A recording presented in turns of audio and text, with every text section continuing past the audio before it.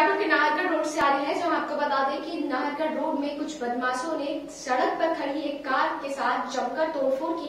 उसके बाद उसे आग के हवाले कर दिया। जयपुर के नाहरगढ़ थाना इलाकों में बदमाशों ने सड़क पर खड़ी कार में जमकर तोड़फोड़ की।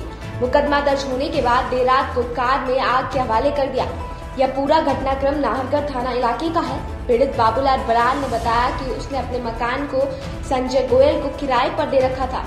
संजय गोयल कई सालों से किराए पर रह रहा था। वहीं संजय को मकान खाली करने के लिए कहा तो 4 अगस्त को बाबूलाल की मुख्य सड़क पर खड़ी कार में भरे बाज़ार में तोड़फोड़ कर दी। संजय गोयल ने बदमाश पिंटू गुज्जर और अन्य साथियों को बुलाकर कार में तोड़फोड़ करवाई।